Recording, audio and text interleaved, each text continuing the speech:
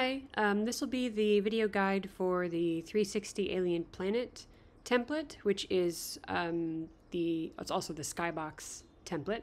Um, you can see in our preview video that the idea is that this is a texture that encompasses a 360 view.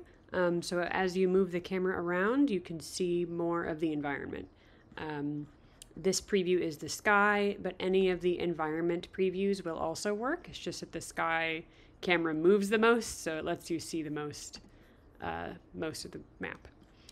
Uh, within this template, there's also portrait segmentation. So if we switch to a person, you can see that they are segmented into the scene. So if you have the camera facing yourself, you should be uh, present in the scene, in, in your virtual scene that's set up with this uh, skybox.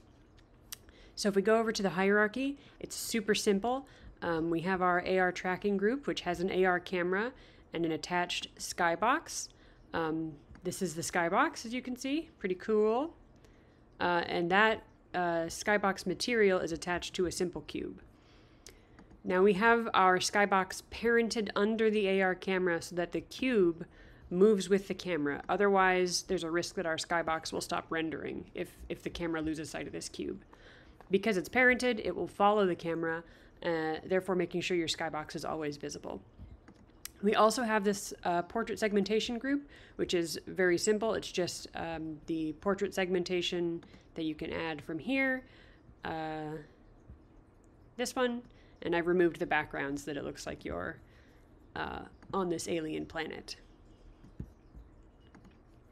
Now if we go to the assets, uh, we can see that we have our skybox material, which was created by navigating to the material tab and adding a simple skybox, um, and then applying our own texture to it. So in this case, it's our alien nightscape, but we've also included an alien dayscape. Um, so we can navigate to our alien planet material and change it to the dayscape texture. And now we're on our planet during the day. You can also import your own cube maps by going to the Add Asset, Import, and then Cube Map. It's its own special section. Um, so this will allow you to import a cube map that can be used by the Skybox material. And that's it. It's a super simple template. Um, hopefully people can figure out how to use it. Uh, if you have any questions, uh, let me know. Thanks.